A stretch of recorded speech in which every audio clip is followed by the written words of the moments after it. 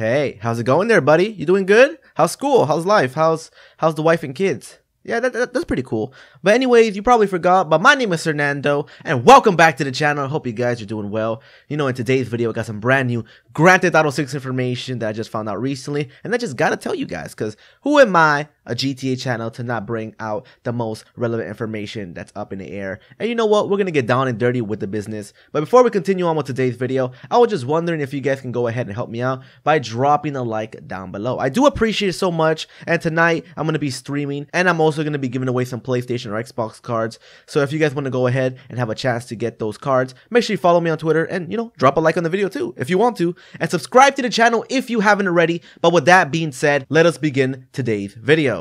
Alright, so a lot of you guys been asking me, Sernando, when is the release date of Grand Theft Auto 6? Because, you know, GTA 5 is a little bit stale, and I just gotta go ahead and play something else because, you know, I just I just gotta know, when when is the next game, Sernando? Tell me. And if you guys don't know already, Grand Theft Auto 6 is scheduled to be released in 2018. Yesterday I told you guys that the trailer is gonna be coming out next year, which is 2016. That's when we get a close look at the Grand Theft Auto 6 um, trailer information and all that good stuff. But it looks like some more information regarding the game itself is the game is going to be costing Rockstar $300 million to make that title. And here in this website, as you guys can see, they basically made a story about it, and I'm going to be reading to you guys and give you like a quick summary of the whole situation. The development process for a title as rich and complex as Grand Theft Auto 6 is becoming increasingly involved, so we can reasonably expect the process to take several years. As I said before, guys, 2018.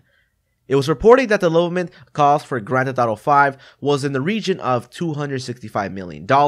Thus, we can expect Grand Theft Auto 6 to be the world's first 300 million video game.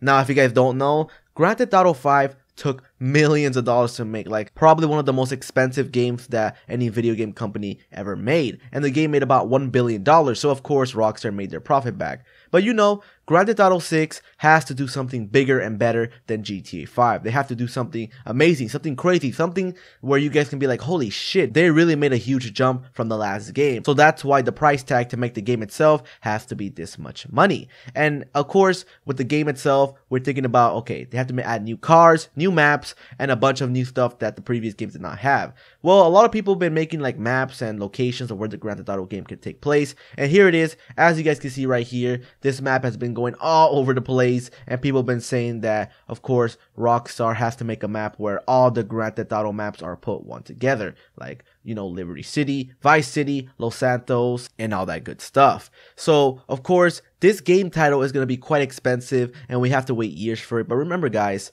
the end product. This game is to be fucking huge, big, amazing, you know, open world. We can fly around, all this cool stuff. And if you guys are wondering who exactly wrote up this thing, supposedly a Rockstar ex employee was basically interviewed and they got the information from that person and not just some random guy because how the fuck would they know this? But anyways, I do hope that you guys enjoyed today's video. If you did, make sure you drop a like. I would appreciate it. And how about we go for 5,000 likes? Subscribe to the channel if you haven't already. And with that being said, I'm gonna see you motherfuckers later with another video.